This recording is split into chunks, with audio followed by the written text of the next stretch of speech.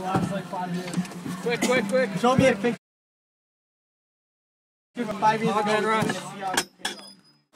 I play outdoor roller hockey. I'm obviously the goalie. I challenge all goalies who play recreation hockey across Canada to take part in the Ice Bucket Challenge for ALS. So, without further ado,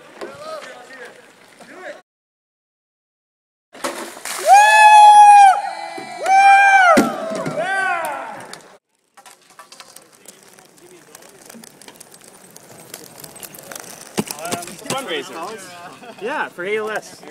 Bone Island Brewing, Deep Six Lager. Okay. What did you call out? Who you calling out? He Called out goalie. He called out the goalie. He already called it on the I video. called out though. recreation goalies to take on the Ice Bucket Challenge like I Robert, just you're did. up. So good luck to all of you in the ALS Ice Bucket Heads- Challenge. Cheers. Cheers.